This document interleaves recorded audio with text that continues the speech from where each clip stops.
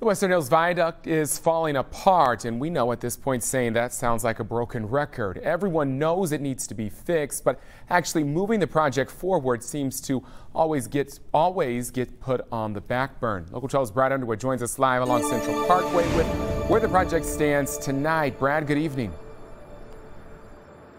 Well, good evening, Kyle. Yeah, we learned from the Hamilton County engineer that at some point next year, the city of Cincinnati will be putting up that netting on the underside of the top level to catch any falling debris. But when it comes to the construction of a new bridge, we're looking at least the very earliest at 2025 for that construction to begin.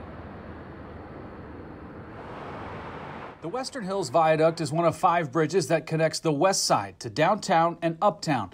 It's the oldest, the biggest, and the most traveled it's also falling apart. I absolutely know people that avoid this bridge, especially if they have to carry, travel on the underside of it. The total cost of a new bridge is about $335 million. Hamilton County engineer Eric Beck says design work is happening, but real progress is driven by money. We've secured about $118 million to date, so we're, we're getting there. We're mm-hmm. chipping away at it. Commissioner Denise Driehaus says that update is a good news, bad news situation. I think the good news is that the local match by uh, the city and the county are in place, but we have not gotten the support that we were hoping for from the federal government related to infrastructure. Westside business owner Pete Witte describes it a different way. It's just total frustration. Witte says we've all known about the dangers of the crumbling bridge for 15 years.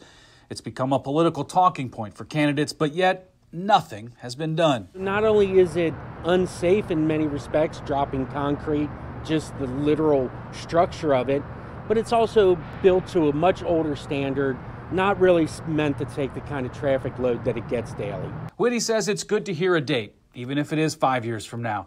But he says maybe the most aggravating part of this is what he calls a lack of leadership in getting the project pushed above others. We see new stadiums built, we see new walls put in to make sure Columbia Parkway isn't going to be having landslides anymore. But yet, the number one project uh, for West Side infrastructure still sits unattended to.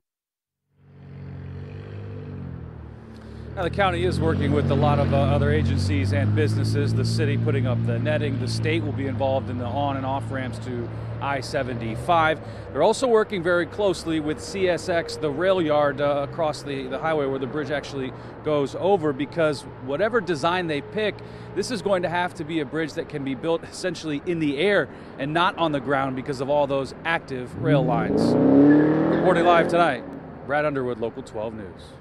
Brad, thank you so much. Duke Energy's electric substation will be relocated, and Duke is paying for that. That move saves the project about $30 million.